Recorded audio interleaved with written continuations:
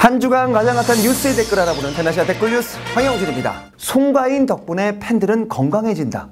지난 4일이었죠. 트로트 가수 송가인이 자신의 인스타그램에 여러분 눈이 예쁘게 내리네요. 코로나 바이러스 때문에 걱정이시죠? 우리 꼭 마스크 착용하시고 손 깨끗이 씻고 다녀요 라는 글과 함께 사진 한 장이 올라왔습니다. 여기에 수많은 댓글이 달렸습니다. 가인님 말인데 50번이라도 씻어야죠. 송가인이 마스크 쓰고 손 씻는 법 광고하면 다 따라한다. 빨리 추진해라. 보건복지부 뭐하냐? 마음이 천사인 송가인 가인이여라 화이팅입니다. 미세먼지 때도 마스크 안 했는데 선한 영향력 송가인이 하라면 꼭 할게요. 팬을 사랑하는 송가인 씨 진심이 느껴지네요. 그 누가 이야기한 것보다 가슴에 새겨지네요. 가인 씨 고맙고 사랑합니다. 송가인이 마스크 쓰라면 해야지. 경제는 최악인데 그나마 송가인 씨 보는 덕에 살고 있다 라는 댓글이 달렸습니다. 여기에 극소수의 댓글도 달렸습니다. 송가인님이 손 씻고 마스크 착용하라면 저도 하겠습니다 라고 아이디 박기님께서 달아주셨습니다. 황영진의 한마디입니다. 송가인 씨 이제 바이러스 뿌리지 마세요. 그 행복 바이러스 그만 뿌리세요.